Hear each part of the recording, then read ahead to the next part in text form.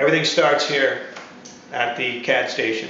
You know, when I come up with an idea for a putter, um, you know, shape in my mind or whatever it is, and I'll write it down and come here the next day and start drawing it.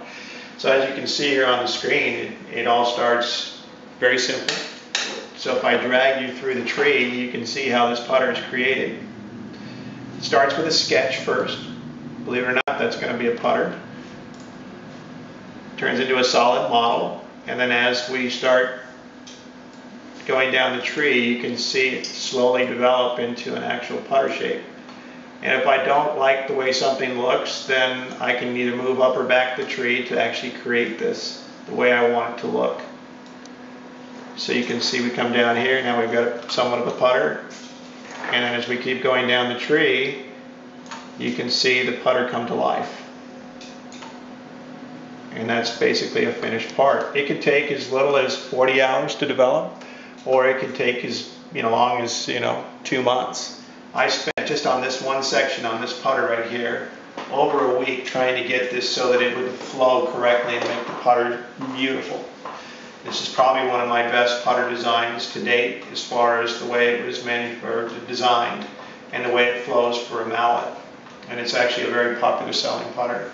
So once it gets through this stage, this is the solid modeling part. Then we get to get into the CAM software, which we will actually bring this model into another software package, which is the machining software. And this is where the actual putter is actually um, milled.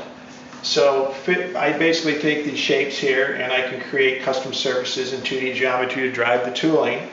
And I'll give you a little demonstration here. If I wanted to actually simulate the machining process, then basically what I'd do is I would take this model here, as you can see, and then I can simulate it.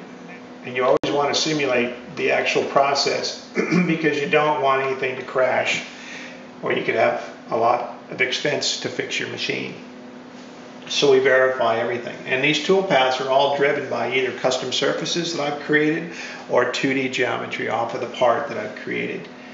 And this is how it all starts. Setting the tool path, fixturing on how you hold things could take, you know, up to, you know, 30 days to make a changeover or to actually bring that putter to life. And so this is really probably, I really enjoy this part of it because this is allowing me to be very creative in how I actually not only design the part, but how I manufacture it. And I've always been um, very good at fixture building. How, how do you approach the problem? How do you do it the less, least amount of setups? And how do you do it the most efficient?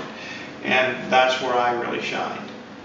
So anyways, that's the phase before you actually have a finished product.